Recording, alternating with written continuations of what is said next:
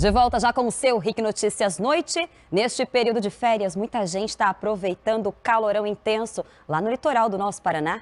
Por isso já quero chamar a Fernanda Xavier, ela que está por lá, porque, Fernanda, boa noite para você. Choveu forte no início da noite, né? Mesmo assim, as temperaturas estão altas por aí. Conta tudo pra gente. Boa noite, bem-vinda. Boa noite para você, Ana, para o Lucas, para todo mundo que está nos acompanhando no nosso estado. Olha, Ana, a chuva pegou a gente de surpresa, viu? Porque foi um dia super quente por aqui. E é claro que a gente já esperava aquela típica chuva de verão, né? Mas não desanimou o pessoal, porque foi aquela chuvinha já com muito calor, 29 graus nesse momento, tá? Ou seja, 7 horas da noite, 7 e meia e ah, continuamos com 29 graus por aqui, inclusive, olha só, o pessoal aproveitando para fazer atividades físicas, ou seja, mesmo com a chuva, o pessoal está curtindo a praia, porque é daquele jeito, né? Tá na praia, tem que curtir bastante.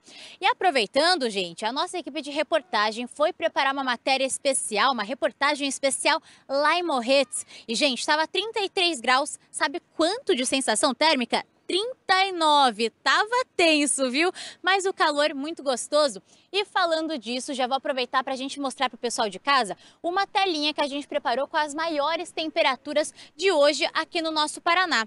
Então, segundo o CIMEPAR, olha só, o, é, a cidade de Cerro Azul registrou aí 39,3 graus, Antonina 37,7, Capanema 37 graus, assim como Morretes e Guaraqueçaba 36,3 graus. Gente, tá calor demais por aqui por todo o nosso estado do Paraná. Como eu disse, 29 graus agora aqui em Matinhos.